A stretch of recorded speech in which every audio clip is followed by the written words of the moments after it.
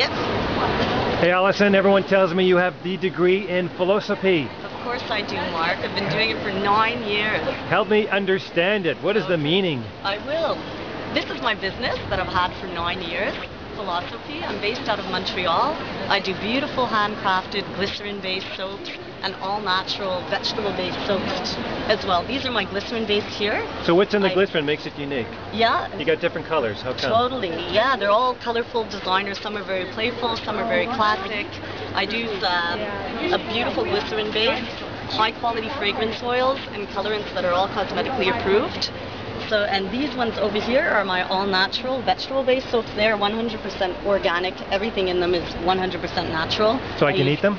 You you could you could try. they don't taste very good, but they smell delicious. Okay. So, and these ones too. I have different ones. I have ones with loofah sponges in them. Loofah sponges in them. Yeah. The watermelon has flax seeds in it. I You said the watermelon has flax seeds in Yeah, it, so I it can eat it.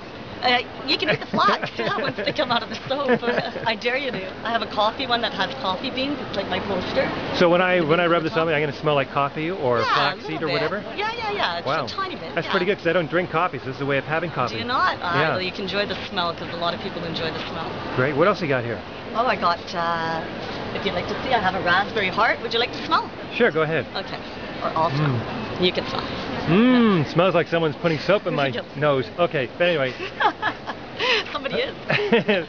okay, what do you got here on the other side here? Yeah, I have over here. I have my kiss. You have your Kissy- which? Yeah, the kissy soap. Kissy soap. This one right here. So two people Yeah. kissing while Yeah. they're cleaning. That's right. Kiss That's you clean. raspberry. Scrub while you kiwi. clean. Kissing fruit, scrub. Okay, beautiful. Wow, how many different varieties do you have here? I Have you have counted about them? 21 different uh, glycerin-based soaps, and I have about seven or eight different uh, vegetable-based soaps. Great. So if we want to pursue this knowledge and understand it better, how do we, uh, what school do we apply to? The philo-soapy.com school? That, that's right. Philo-soapy.com, based in Montreal.